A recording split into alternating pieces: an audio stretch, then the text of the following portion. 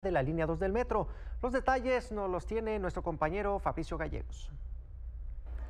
Hola, ¿qué tal? Muy buenas tardes. Pues como bien lo señalan, tras eh, cuatro meses de haber cerrado precisamente la estación del Metro Universidad y después de dos meses de trabajo, por fin, a partir de este miércoles, esta misma estación de la línea 2 del metro será reabierta de manera regular para sus operaciones. Esta información la dio a conocer precisamente Hernán Villarreal, secretario de Movilidad del Estado.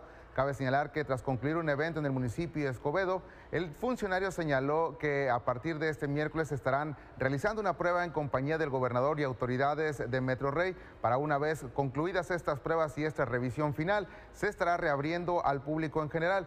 Cabe señalar que esta información fue dada a conocer en el municipio de Escobedo, donde se inauguró precisamente una línea de Transmetro. Hay que escuchar eh, precisamente las palabras de Hernán Villarreal, quien dijo estas declaraciones y señaló pues a partir de cuándo estarán reabriendo la línea 2 del metro en la estación universidad. Escuchemos adelante estas palabras.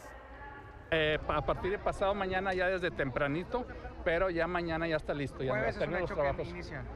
Sí, sí, totalmente. ¿Sería totalmente ya la apertura, ya la, la operación funcional? ¿Eh? Después del evento. Ah, de, no, después del evento, me está diciendo el director de metro, después del evento ya, mañana mismo.